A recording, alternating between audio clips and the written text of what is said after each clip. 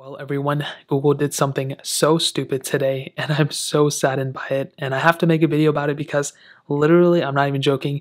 This is the one app that I probably recommended a ton of people to download. And unfortunately, Google went away and did something that totally counteracted the whole entire advantage of even downloading the app in the first place. So, Google Photos, which is this app, now this is not my personal phone, so that's why I probably don't have any photos on here. But this was an app in which I'm sure none of you guys already know it, but you could back up all your photos from your photo gallery on your iPhone and put it onto the cloud straight on this app and have it so it doesn't even affect any storage limit. It was totally free backup, unlimited photos, videos, all that stuff, and compressed quality, which was still pretty good. But Google actually took that away now. So unfortunately, it's not going to happen. This change isn't going to happen until mid next year, I think June of some time but that's still pretty insane that it's happening. So basically what it is is that Google does not want to go ahead and keep giving us the free storage. So basically all the photos and videos that I think happen after mid 2021 or even the ones that we already have on the Google Photos app, any photos and videos that are uploaded, basically that'll count towards our free 15 gigabyte limit that Google actually gives us for our Google Drive storage. So I'm sure you all know what Google Drive is. It's the app that if you log in through, you know, your phone or whatever, you'll basically be able to use 15 gigabytes of free storage. I've been using my 15 gigs for years now and it's very convenient.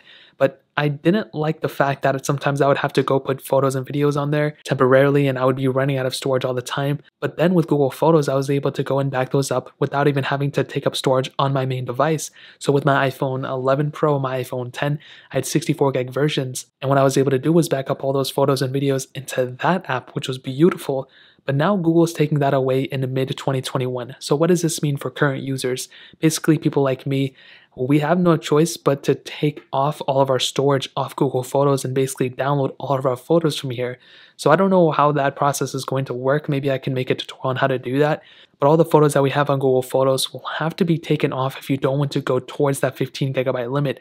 Me personally, I think I have way more than 15 gigs on just my photos let alone the videos that I've uploaded throughout the years because I've been using it for years now. So I'm probably gonna have to go off of it. I'll probably have to go use like something else. I don't know. Like maybe I'll just store all the photos on like my own server, or maybe put them on my iMac or something. I have no idea. It just kind of sucks that we have to go through like this.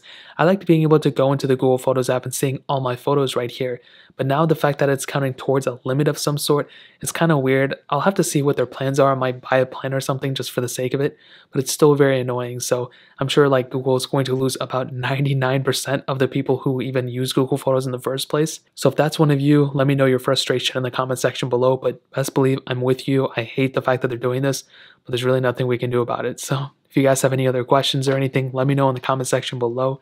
Hit the like button, that would mean so much, but definitely hit that subscribe button. Every single subscriber that we get really does count, so it means so much if you guys can hit that.